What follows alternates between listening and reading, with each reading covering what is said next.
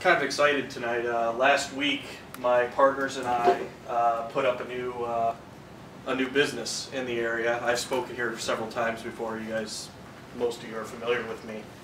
Um, companies in the area have been lamenting for a long time that there's just not enough developers coming into the field, and it's a real problem. And people coming out of college typically don't have experience building a solution end to end and that's really what employers want before they start investing 40, 50, 60,000 dollars a year into a junior developer.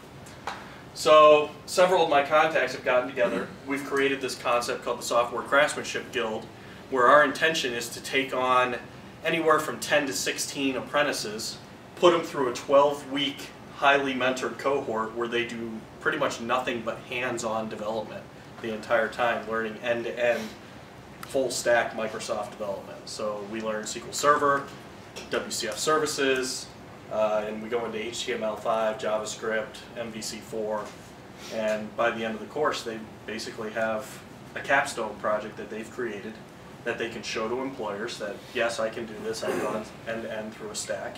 And our employer network, our hiring network, can be more confident in hiring junior developers because now they can actually do something. So if this is something you guys would like to uh, learn more about, because this is Sarah's show tonight, you know, come see me after the class. I got business cards. Uh, our site is currently taking applicants. We've got several uh, apprentices already in the queue, so we're getting this up and started. We're going to run our first cohort this summer. So if that's something you're interested in, come see me. Thank you.